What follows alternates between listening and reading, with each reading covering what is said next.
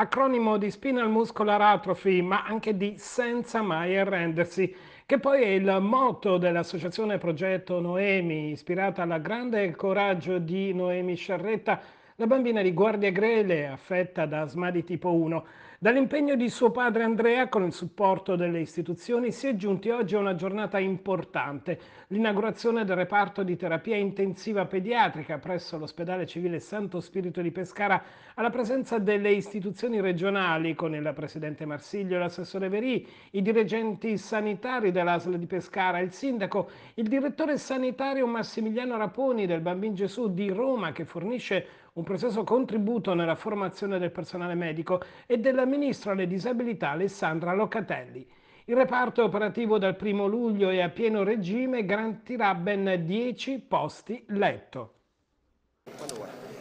Ministro Locatelli, un sogno che si realizza, abbiamo detto prima con Andrea Sciarretta, questo del progetto Noemi. Sì, una, eh, veramente oggi un'emozione grande, ma devo dire anche un orgoglio per vedere un territorio che si è saputo attivare eh, e mettere in rete diversi attori per realizzare un progetto che veramente salva la vita ai bimbi, che è indispensabile, che non c'era fino a qualche anno fa e che nasce dalla volontà sicuramente di Andrea Sciarretta, progetto Noemi, ma anche dalla volontà poi eh, della regione e di questo ospedale di accogliere, di saper intercettare questo bisogno e di eh, ascoltarlo anche. Un esempio importante anche da parte del governo, questo sforzo da parte dei privati in qualche modo, comunque di persone eh, normali, di darsi da fare per sostenere il sistema sanitario. Beh, io credo che ormai per il futuro non si possa più prescindere da lavorare insieme eh, istituzioni, enti del terzo settore,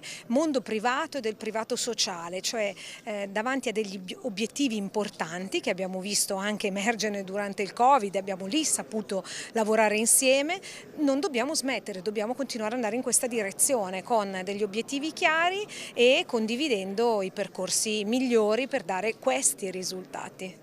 Grazie. Andrea Sciarretta, il sogno di Noemi si è realizzato?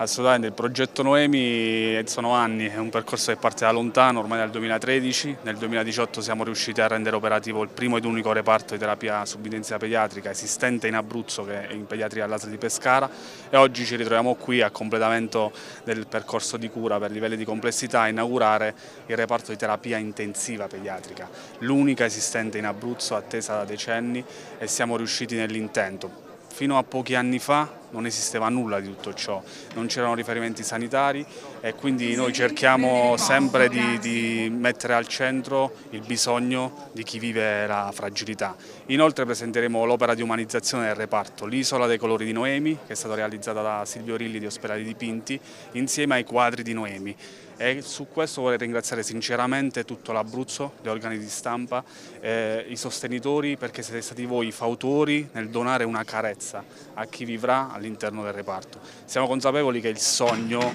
in verità è, vedere, è non vedere più famiglie lottare, bambini che lottano e il sogno sarà, è questo, rimarrà sempre questo. Fino a quando non sarà così noi abbiamo l'onere e l'onore di dotare gli strumenti efficaci la famiglia e sostenerla senza mai.